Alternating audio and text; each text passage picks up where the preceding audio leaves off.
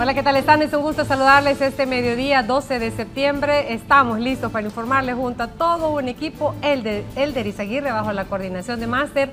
Judith Beino les saluda con mucho gusto. Junto a Valeria Rojas le damos la bienvenida. Buenas tardes, Judith Beino. Buenas tardes al pueblo hondureño que nos sintoniza a esta hora del mediodía, casi culminando semana, jueves 12 de septiembre. Ya estamos listos y preparados para darle a conocer importante información esta tarde que vamos a dar inicio, por supuesto, con las informaciones de nuestra agenda informativa porque nos vamos a enlazar con nuestro compañero Gerardo Ramos hasta la zona norte del país. Capturas de impacto este jueves en ese sector. Adelante, Gerardo con más detalles.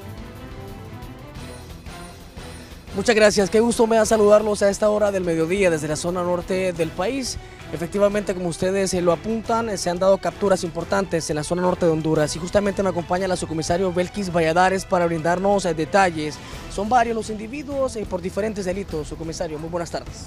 Así es, buenas tardes. La Policía Nacional en las últimas horas pues ha logrado lo que es la aprehensión de varias eh, personas por la comisión de diferentes ilícitos, entre las cuales se destaca lo que es la aprehensión de una persona de 61 años de edad de, de oficio mecánico vinculado a lo que es el delito de secuestro.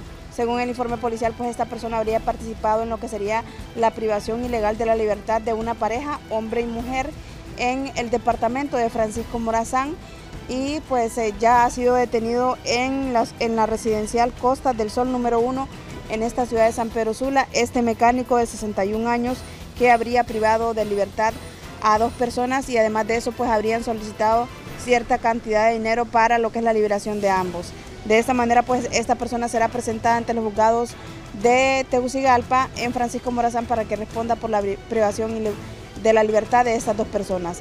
Además de eso, pues otra persona ha sido capturada por lo que es el delito de asesinato. Esta persona fue requerida en el punto de control fronterizo ubicado en Omoa Cortés. Se trata de un jornalero de 39 años de edad a quien se le acusa de haberle quitado la vida el año a inicios del año pasado, del 2023, en la ciudad del Progreso Lloro. Esta persona pues le habría quitado la vida de manera violenta al joven que fue identificado con el nombre de Wilfredo Wilfredo Pérez eh, Díaz. De esa manera, pues esta persona ya está siendo remitida ante los juzgados del Progreso para que responda por este ilícito. Además de esto, pues ha sido detenida otra persona por lo que es el delito de extorsión en el sector de Chamelecón y cuatro personas más también detenidas por lo que sería el delito de tráfico de drogas, incluyendo una persona pues que portaba más de 100 envoltorios eh, conteniendo lo que sería presunta marihuana. Muchísimas gracias. Las declaraciones por parte de la subcomisario Belkis Valladares, quien es portavoz de la Policía Nacional en la zona norte del país, refiriéndose a estas capturas importantes del territorio nacional. Con este reporte, compañeros, con ustedes a los estudios. Muy buenas tardes. Muy bien, muchísimas gracias Gerardo Ramos. Vamos a regresar hasta la capital en donde se encuentra Steven Salgado para darnos a conocer el duro revés que ha sufrido eh, este día eh, la defensa de Arnaldo Urbina, quien guarda prisión en Estados Unidos. La Fiscalía de Nueva York ha solicitado 20 años de cárcel. ¿Qué dicen los expertos en torno a esta condena que podría recibir este hondureño? Gracias compañeros en el estudio, buenas tardes también a la teleaudiencia de 11 Noticias, estoy con el abogado Kenneth Madrid. Vamos a analizar ya lo que ha dado a conocer la Fiscalía, que van a pedir 20 años para Arnaldo Urbina, 20 años de prisión allá en los Estados Unidos. ¿Cómo podemos analizar todo esto? Buenas tardes. Buenas tardes. Bueno, mire, es interesante ver cómo se desarrolla el tema en la justicia norteamericana. Estamos viendo que para que la Fiscalía Federal pida una pena de únicamente 20 años contra el exalcalde de Lloro, significa que hubo una colaboración eficaz por parte de él con el Departamento de Justicia. Así que eh, continúan los cánticos en Estados Unidos, así que de esta manera es que pudo haber brindado mucha información, pudo haber brindado bastante eh, información que le permita a la Fiscalía Federal armar otros casos contra otras personas en Honduras y de tal manera que no nos extrañe que, que así como él y otras personas que han eh, salido condenadas a penas menores eh, estén en pocos años de regreso en el país y además de eso también permitan la construcción de casos y la captura de otros operadores del narcotráfico en Honduras. Cuando hablamos de esto, abogado, podemos decir que fue algo así como un revés, tomando en cuenta, por ejemplo, a principio de mes de septiembre, la información que se manejaba es que él podría salir pronto en libertad. Sí, bueno, mire, es que el tema, la justicia norteamericana es una justicia negociada. Al, al Departamento de Justicia de Estados Unidos no le interesa tener a alguien de por vida, sino desarticular redes de criminalidad organizada, de narcotráfico, y por eso acá en el país muchos podrán decir que prácticamente la justicia norteamericana ha sido blanda con estas personas, pero lo que busca la justicia norteamericana es desarticular cualquier red de narcotráfico, crimen organizado que exista en la región, porque esa es la finalidad fundamental, no tener personas privadas de libertad por vida. Les gusta manejar información, que se pueda dar información, dan el beneficio premial y en base a eso desarticulan las redes. Muchas gracias, le agradezco el tiempo y el análisis también. Vamos a estar ampliando más sobre esta información en las próximas emisiones de 11 Noticias. Buenas tardes.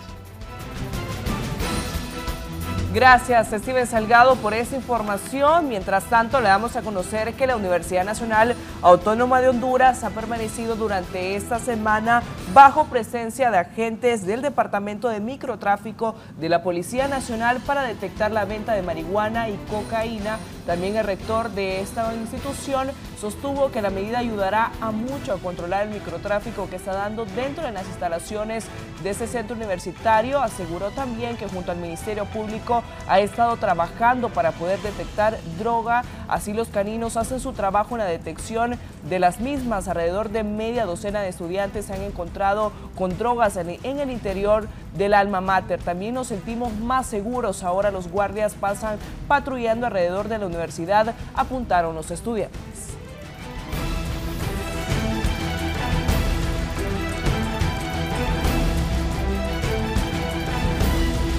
Y Honduras tiene todo tipo de usuarios de Internet, desde el gamer que desafía los límites de su diversión, el que tiene todas las plataformas para ver películas y series, y la emprendedora 24/7 que no para de crecer porque Honduras es un país que lo tiene todo, necesita un Internet que lo tenga todo como cable color con la mejor velocidad, mayor cobertura y los mejores precios. Contáctanos al 2263 1010 Cable Color, el Internet más rápido de Honduras. Ya regresamos.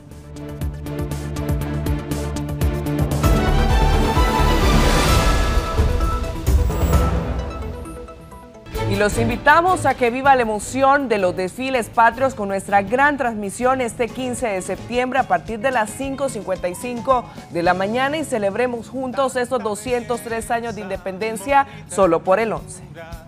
Alba de nube, flor y dulzura. Y ahora le presentamos nuestro segmento internacional.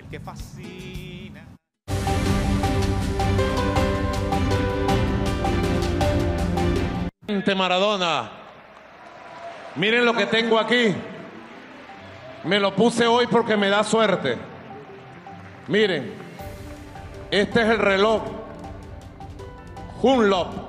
Se dice así. Este es el reloj que me regaló Diego Armando Maradona en el cierre de campaña en la Avenida Bolívar. Era su reloj en el año 2018. Y cuando me pongo el reloj, el Diego está conmigo. Aquí está el Diego con nosotros. El Diego la gente.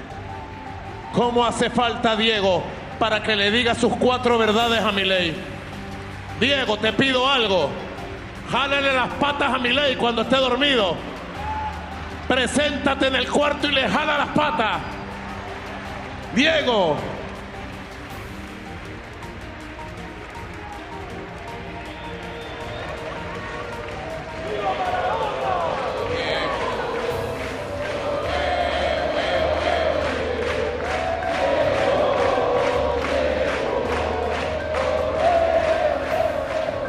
parece buena la idea que le jale las patas. Que no lo deje dormir, chicos. Tanto daño que le hace al pueblo argentino. Bien, no se sabe si habrá otro espíritu que no deja dormir a Nicolás Maduro porque va de polémica en polémica. Y además se conoce que Estados, Estados Unidos ha sancionado al menos 16 funcionarios del gobierno de Venezuela. Entre ellos pertenecen a...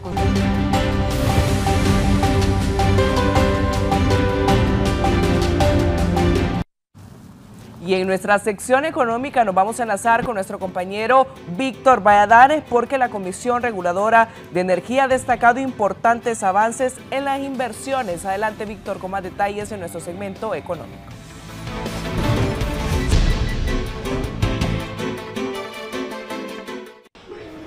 Gracias, compañeros en los estudios, televidentes de la calidad del servicio energético que recibe la población.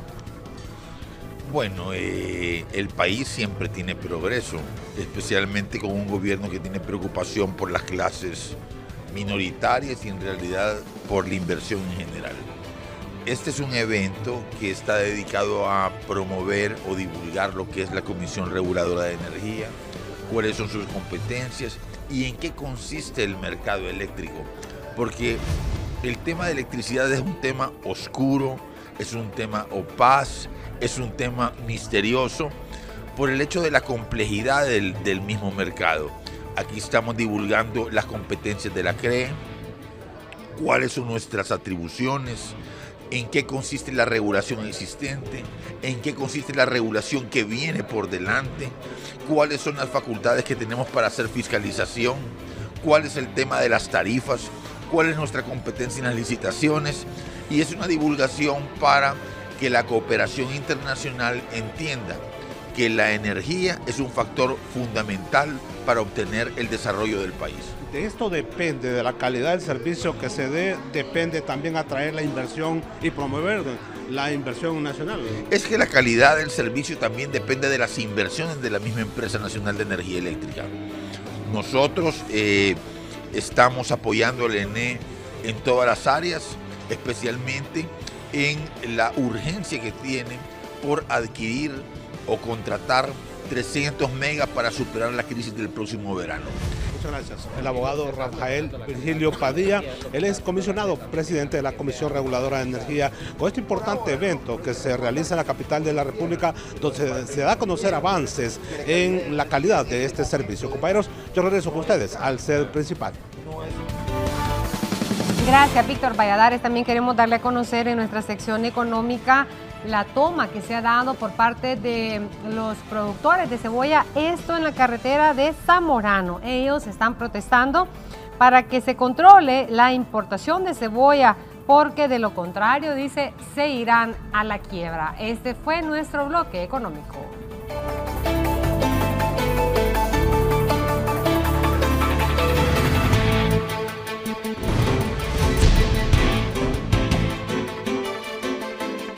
Y presten mucha atención porque Cable Color se complace en invitarlos este viernes 13 de septiembre a su gran feria de empleo y ven y descubre las diferentes oportunidades que tienen para ofrecerte. La cita es en Colonia Miramontes, en el centro comercial Prisa, dentro de las instalaciones de Cable Color. No te lo pierdas, horario de 8 de la mañana a 3 de la tarde.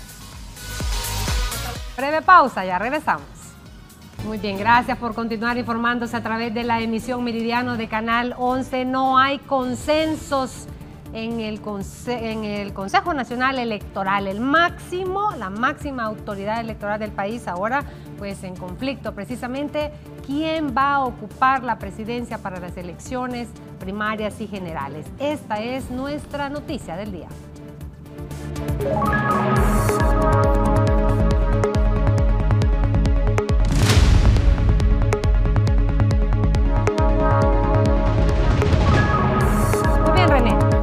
¿Qué se conoce hasta ahora? Usted está ahí desde horas tempranas al pie de la bandera para informarle a la población hondureña si se han puesto de acuerdo o no. Adelante. Bien, muchas gracias. Eh, muchas gracias, Judith. Efectivamente, han continuado los cabildeos desde ayer. Eh, que se dio la primera reunión por parte de los concejales. Igualmente en horas de la noche también hemos conocido de forma extraoficial que han habido algunas conversaciones entre las autoridades de los distintos partidos políticos y también comunicaciones con los concejales representados aquí en el Consejo Nacional Electoral. Hoy en horas muy tempranas llegó José López, al igual también llegó el, concejal del Partido Libertad y Refundación, Marlon, igual que Ana Paola Hall, pero solo algunos, eh, algunos trabajos que tiene que ver con el cronograma electoral de cómo se va desempeñando todo este proceso, pero no ha habido consejo para poder llevar a cabo la elección de quién va a presidir la presidencia del Consejo Nacional Electoral porque todavía no logran esos acuerdos, esos consensos. Hace unos minutos acaban de salir de aquí del Consejo Nacional Electoral en este vehículo Ana Paola Hall del Partido Liberal con la abogada José López del Partido Nacional con rumbo desconocido. Es probable que hayan ido a buscar algún almuerzo, a almorzar a algún lado, es probable, o de repente han sido llamadas a alguna, alguna reunión de los partidos que están en este fuerte cabildeo aquí en la capital de la República. Pero sí en su cuenta de Twitter o cuenta X ahora, Ana Paola Jola ha escrito que el pueblo hondureño requiere calma, el pleno se celebrará en legal y debida forma. Mi postura siempre será a favor de la democracia. No responderé a ataques, provocaciones internas. CNE, propongamos eh, o pongamos a Honduras primero. Es lo que ha escrito Ana Paola, Hall. No se ha eh, referido ante los distintos medios de comunicación. No así eh, José López, que sí ha comparecido, al igual que también el abogado Ochoa, quienes eh, han hecho un recorrido en las últimas horas por las instalaciones del Consejo Nacional Electoral para saludar al personal, pero también esperan que en las próximas horas ya haya un acuerdo de quién va a presidir las elecciones internas, quién va a presidir las elecciones generales y posteriormente a quién le corresponde el tercer año de poder liderar el Consejo Nacional Electoral. Se nos ha informado de forma extraoficial que hoy en horas de la tarde continuará la reunión del Pleno, pero se espera, se espera que en esta reunión también se pueda dar como, como no se puede dar o se puede dar, se tome una decisión de quién va a presidir la presidencia del Consejo Nacional Electoral para las elecciones internas y para las elecciones generales. Estaremos pendientes, Judith, de lo que ocurre desde este sector de la capital de la República. Retornamos con usted. René, en ese vehículo salieron de las instalaciones del Consejo Nacional Electoral tanto Ana, Ana Paola como Cosette. Así es que no se sabe para dónde iban y dejaron solo ahí a Marlon Ochoa. Pues solo bajaron las dos, Judith. Sinceramente le digo, lo pudimos apreciar bajando por estas gradas porque este edificio solo tiene una, una, sola entrada y una salida. Subieron en un solo vehículo, salieron ahí a través de las imágenes que logramos obtener a través de nuestros celulares y eh, rápidamente con dirección, que hasta este momento, como le digo, es probable que han ido a almorzar a algún lado, aquí en algún restaurante de la capital, o hayan sido llamadas por los partidos o la máxima autoridad de los partidos para eh, fijar una postura, porque los liberales han dicho que no van a ceder, no van a dar ni un paso atrás, como dicen el himno de los liberales, y que eh, no van a ceder la cabeza, es decir, para las elecciones generales. Ahora, ¿quién podría presidir las elecciones internas? Podría ser el Partido Nacional, podría ser Libertad y Refundación. Eso es lo que hasta este momento lo que se conoce porque el Partido Liberal ha fijado su posición, que no van a ceder eh, la presidencia para las elecciones generales. Eso es lo que se conoce hasta este momento. Esperemos que eh, hoy en horas de la tarde se reanude nuevamente el Pleno y se pueda conocer al final de una vez por todas quién va a presidir eh, la presidencia del, del CNE para las internas y para las generales, Judy. Claro que sí, René, muchísimas gracias. Y usted pues se queda al pendiente también para pues estarnos al tanto, mantenernos al tanto de lo que sucede aquí en el Consejo Nacional Electoral mientras se conoce pues que hay reacciones ya tanto desde el Congreso Nacional como de algunos diputados. Vamos a seguir informándole en torno a este tema. Nuestro compañero Fernando Arteaga nos da a conocer lo que ha mencionado ya el presidente del Congreso Nacional, Luis Redondo, el cual afirma que se deben respetar los acuerdos. Fernando, usted nos tiene más detalles. Adelante. Gracias compañeros. En el estudio de 11 Noticias, el presidente del, Congreso Nacional, Luis Redondo, ha manifestado que se deben de respetar estos acuerdos realizados en marzo y que también por historia en nuestro país, siempre el representante del partido en el, que está en el gobierno debe de ostentar la presidencia del CNE en año electoral. Está con nosotros el diputado de Libre, Juan Barahona. ¿Cómo mira usted todo esto que se ha venido manifestando y la nueva controversia que se ha generado? Mire, esta es una actitud negativa de los dos partidos tradicionales que están en una posición de confrontación eh, al Partido Libre y ellos se oponen a todo. Al momento de elegir los tres consejeros del Consejo Electoral hubieron acuerdos políticos y ahí se definió quién iba a tener la presidencia al momento de la elección.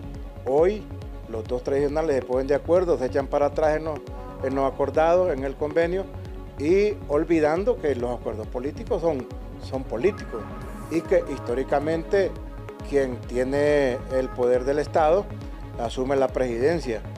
todas las elecciones, el partido que está en el poder ha dirigido el proceso electoral en las generales. Hoy, hoy, los partidos tradicionales, en una forma miserable, están tratando de que el libre no conduzca nada. ¿Por qué? Porque ellos pretenden manipular las elecciones. ¿Y eso por qué lo digo? Cuando ahorita que aprobamos la reforma, ellos no, que, no quisieron reforma, ellos no quieren elecciones transparentes, no quieren elecciones, elecciones democráticas, confiables. Ellos quieren elecciones estilo bipartidismo. Ellos quieren elecciones estilo Honduras. Y eso no puede ser. Vamos avanzando en la evolución de los procesos electorales. Bien, el diputado de Libre Juan Barahona hablando con nosotros sobre esta nueva problemática que se ha generado en el Consejo Nacional Electoral. Con este informe retornamos, compañeros, con ustedes. Muy bien, muchísimas gracias a Fernando Arteaga. Seguimos siempre con reacciones en torno a este tema. Hoy el foro de la entrevista con el licenciado Raúl Valladares precisamente se abordó este tema y uno de los invitados, el doctor Marco Elud Girón, dijo que le tienen miedo. Le tenían miedo a Rixi, dijo, ahora le tienen miedo a Marlon Ochoa. También aseveró que si le dan la presidencia o no, de igual manera siempre estarían ganando las elecciones. Pero también hizo un llamado, hizo un llamado acá para que se pongan de acuerdo y además respetar, respetar el acuerdo que se había hecho en marzo pasado. Escuchemos. Pero ahora, ¿qué es lo que ha pasado? Como ya les aprobamos el presupuesto y dice el dicho que músico pagado no toca buen son, ya les probamos el billete, o como decía en el tiempo de Maduro, el billuyo, la nona, la papaya, ahora ellos no quieren cumplir ese acuerdo y ya teníamos sesión el miércoles y fue suspendida porque dijeron que no a las reformas electorales, no quieren huella digital, no quieren lector facial en las elecciones internas, no quieren TREP en las elecciones internas para tener candidatos inflados. Nosotros tuvimos candidatos inflados, candidatos helio. Yo mismo lo denuncié en el Consejo Nacional Electoral y llevé las pruebas de urnas donde solo tenían capacidad de 250 votos y sacaban 850 votos, 1000 votos. Y eso sucedió en los tres partidos políticos. Entonces, si vamos a aprobar esa gran cantidad de dinero, es para darle certidumbre al pueblo hondureño de que su voto cuenta, que no van a haber fraudes electorales para que salgan diputados fortalecidos al Congreso Nacional. Por eso es que usted va a ver ahí un montón de diputados que ya tienen cinco periodos, más de 20 años y la gente se pregunta, bueno, ¿y este cómo llegó si yo no voté por él? Pero no quisieron ellos y no quieren esas reformas electorales. Ahí incumplieron un acuerdo. Y yo le escribí al presidente del Congreso Nacional, yo no creo que ellos vayan a, a cumplir ese acuerdo porque para ellos el fraude es tan normal que sería ponerse una soga en el cuello esa reforma electoral. Asimismo están ahora con excusas infantiles la presencia de libertad y refundación en el Consejo Nacional Electoral es garantía de evitar fraudes electorales como en el 2021. Pero ahora no quieren cumplir acuerdos y el Partido Nacional y el Partido Liberal quieren dejar afuera de, de dirigir las internas o las elecciones generales, tal cual ha sido la tradición en estos últimos procesos electorales. Liberales de base, Pónganle ojo y presionen a sus dirigentes que no le den la presidencia del Consejo Nacional Electoral para que el Partido Nacional maneje las elecciones generales, porque eso es lo que pretende el Partido Nacional para manipular las elecciones, para volver a hacer fraude, para que no gane el que saque más votos. Libre está fortalecido. Por eso es que nosotros estamos insistiendo en que se cumplan los acuerdos plasmados en marzo del 2024 para que en este momento las elecciones internas sean manejadas de acuerdo a como está en la Gaceta.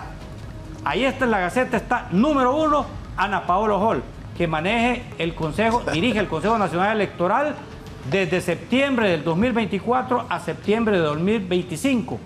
Manejaría ella o dirigiría lo que son las elecciones primarias.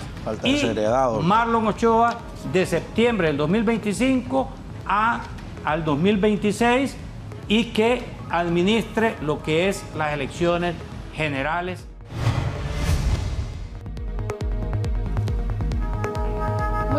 bien. Esa es parte de lo que se llevó a cabo este jueves en el foro de la entrevista con el licenciado Raúl Valladares, pero también por su importancia le vamos a dar a conocer lo mencionado a través de su cuenta oficial de X de Ana Paola Jol, consejera del CNE, en todos estos procesos también que se han llevado a cabo esos últimos días y también la incertidumbre de hoy. El pueblo hondureño requiere calma, el pleno se celebrará en legal y debida forma. Mi postura siempre será en favor de la democracia, no responderé a ataques, provocaciones, internas del Consejo Nacional Electoral. Pongamos a Honduras primero, es lo que menciona en su cuenta oficial de XJUD. Así es. Vamos a la pausa y esta fue nuestra noticia del día.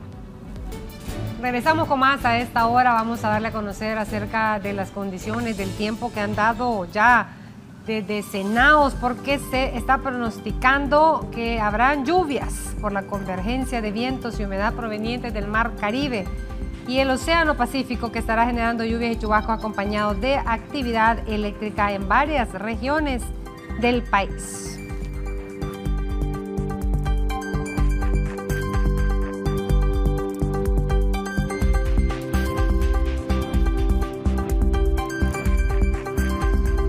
Y en torno a esta situación de las lluvias también le vamos a dar a conocer un importante comunicado de la Municipalidad de San José de Colinas porque se ha declarado en estado de emergencia por daños en 16 comunidades. Esta municipalidad de San José de Colinas, Santa Bárbara, en sesión ordinaria de la corporación declaró estado de emergencia debido a las 16 comunidades que están a punto de quedar incomunicadas producto de daños en la red vial provocados por las fuertes lluvias que han azotado el país, especialmente en esa región región noroccidental. Las comunidades afectadas y que podrían quedar incomunicadas son El Encanto, Laguna Inea, Abuelada, Piedra Grande, San Francisco Carrizal, Patarrón, La Misión, Quebrada en Medio, El Porvenir, Laguna Colorada, Laguna Grande, San José Colón, y también Hundiciones, La Alianza, El Pinabete, El Triunfo y Palacayito. También la Corporación Municipal instruyó al Comité de Emergencia a mantenerse en sesión permanente a los técnicos de la Alcaldía y otros órganos auxiliares que se elegiró instrucciones para realizar inspecciones de campo en viviendas y carreteras para detectar los daños. Esta sesión de corporación fue presidida por el alcalde municipal en funciones, Luis Ramón Perdomo, dándose la prioridad a la declaratoria de emergencia como medida precautoria para salvaguardar la salud y la vida de los habitantes en este municipio de San José de Colinas. Las imágenes ahí, Elder, precisamente el por qué se ha tomado esta decisión desde eh, la alcaldía de San José de Colinas, allá en Santa Bárbara. Se las vamos a presentar a las personas que nos sintonizan a esta hora del mediodía, pues para eh, que las autoridades tomen nota y conciencia de las acciones que se tienen que que hacer. Precisamente hemos, eh, nos han hecho llegar nuestros equipos de prensa en esta zona precisamente para que ustedes vean cómo se encuentran, cómo se encuentran ya por las lluvias estas 16 comunidades ahí en Santa Bárbara y a punto de quedar incomunicadas debido a las lluvias. Así es que hay emergencia, hay emergencia y como tal debe ser atendida.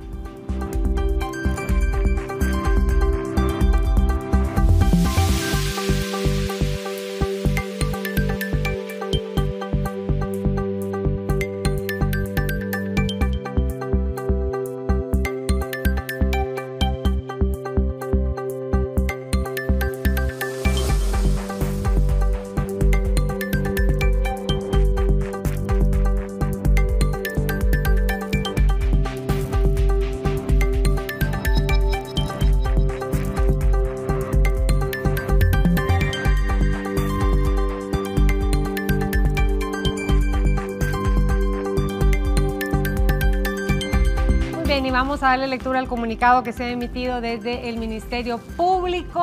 A la población hace saber lo siguiente. En seguimiento a las personas mencionadas en el juicio en la ciudad de New York, Estados Unidos, informamos que ayer 11 de septiembre diputados y detectives especializados del Ministerio Público el congresista fue previamente citado a las instalaciones del Ministerio Público, pero optó por no comparecer personalmente a sede administrativa en virtud de su privilegio de alto funcionario que establece el artículo 227 del Código Procesal Penal.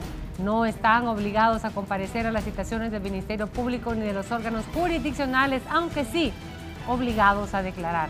En consecuencia, Detectives de la Dirección de la Lucha contra el Narcotráfico y fiscales de la Fiscalía Especial contra el Crimen Organizado y la Unidad Fiscal de Apoyo a la Depuración Policial se apersonaron a las oficinas de su apoderado legal para escuchar su testimonio en relación con su mención en una corte de Estados Unidos.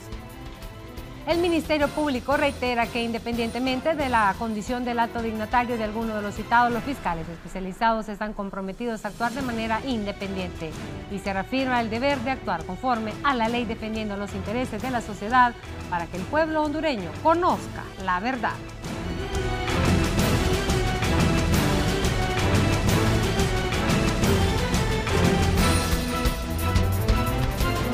Con estas informaciones tenemos que realizar una breve pausa comercial, así que no nos... Muy bien, continuamos con más información. Esta es una noticia internacional. Advertimos de las imágenes, son fuertes. El féretro, eh, junto con su ataúd, llegó hasta este punto acompañado de sus hijos Keiko y Kenji. Sus otros dos hijos, Hiro y Sashi, no se encuentran en estos momentos en Lima, pero eh, Sashi estaría llegando en horas de la tarde de este jueves, mientras que Hiro se encuentra en Japón y aún no hay una hora ni fecha eh, programada para su arribo. Sin embargo, se espera que pueda participar en lo último que quede del velorio y en el entierro que se realizará el día sábado en las afueras de Lima, específicamente en el cementerio Campofé de Huachipa. Eh, el ataúd fue recibido eh, por un por honores eh, de las Fuerzas Armadas y por el presidente del Consejo de Ministros en compañía de su gabinete, además de muchos congresistas de la bancada de Fuerza Popular. Minutos después llegó la presidenta de la República, Dina Boluarte, no por la puerta principal ubicada en la avenida Javier Prado, sino por la puerta posterior ubicada en la avenida La Cultura. Permaneció eh, algunos minutos, dio su pésame y se retiró junto con el presidente del Consejo de Ministros. Eh, diversos políticos en funciones y políticos quienes fueron autoridades durante el gobierno de Alberto Fujimori llegan hasta el Museo de la Nación, además de personas simpatizantes y quienes vienen a despedir a su líder eh, político. Nosotros continuamos en las inmediaciones del Museo de la Nación para poder obtener todos los detalles de lo que es eh, un velatorio histórico por un líder político, expresidente, para muchos ex dictador que genera eh, polarización hasta hoy en día en el Perú. Desde el Museo de la Nación en Lima informó Salvador Sampén para la Alianza Informativa Latinoamericana.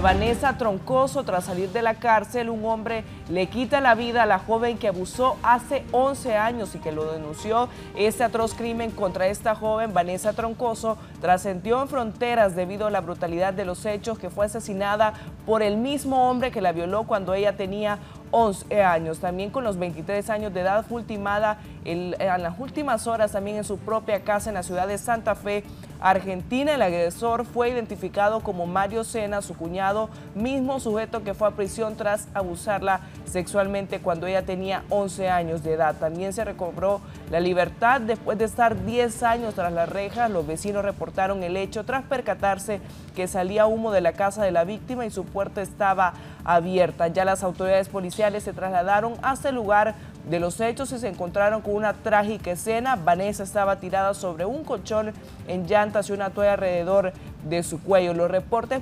preliminares apuntan que la causa de muerte fue por asfixia. El agresor intentó prender fuego a la casa para no dejar rastros de su crimen. Sin embargo, vecinos aseguraron que Mario Sena salió de la casa de la víctima y escapó en una motocicleta. De acuerdo a los medios locales, el hechor fue capturado en horas de la noche gracias a la hermana de Vanessa, quien brindó su ubicación de GPS. Si usted quiere ampliar estas y otras informaciones, puede ingresar a nuestro portal de 11noticias.hn para que permanezca bien informado.